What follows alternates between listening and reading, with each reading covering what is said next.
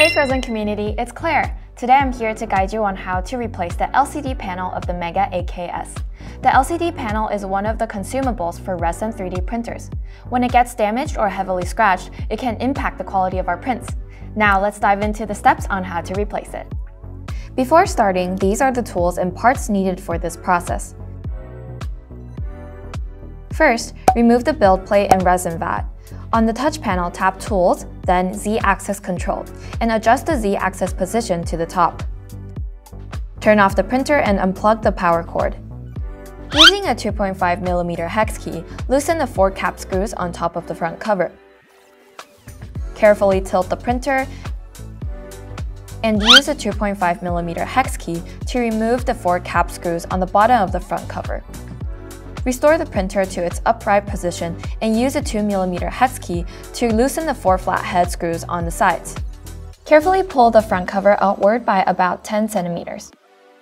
Find the touch panel cable on the main board. Remove the black tape to put it aside. Lift the latch upward to remove the touch panel cable. Then, disconnect the USB extension cable from the main board. Now you can remove the front cover entirely.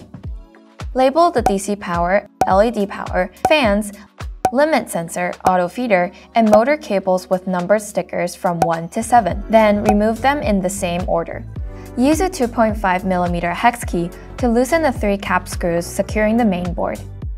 Peel off the black tape covering the LCD cable on the main board and put it aside. Lift the latch upward to disconnect the LCD cable. With this, the mainboard removal is complete. Remove the electrical tape around the LCD panel. You can have one hand gently holding down the panel to make the process easier. Once completely removed the black tape, you can now take out the old panel.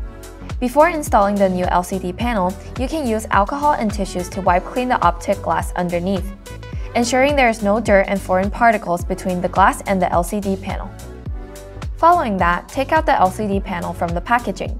Connect the LCD cable to the panel, secure the connection, firmly press down the latch, and put back the black tape.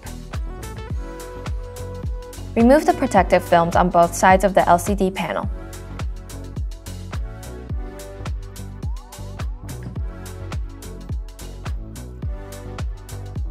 When installing the LCD panel, make sure Phrozen's logo is on the front side.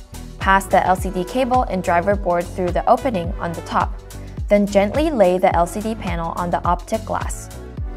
Reminder, if the LCD panel is not placed flat, the building plate may damage the LCD panel during printing.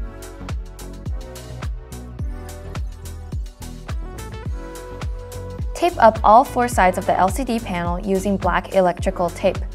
Secure the panel to the platform and ensure the gaps are adequately covered. Insert the LCD cable into the socket on the mainboard. Secure the connection, firmly press down the latch, and put back the black tape. Next, put the mainboard back tightening the three cap screws using a 2.5mm hex key.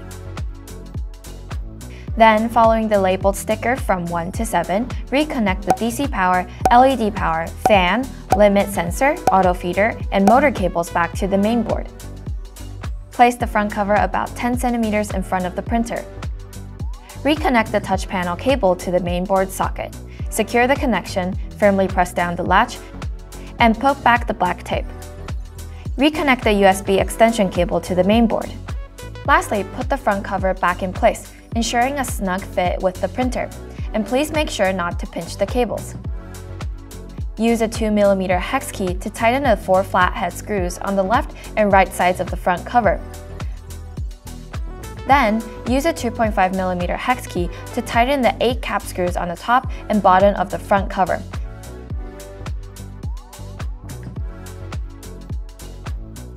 Then you have done it!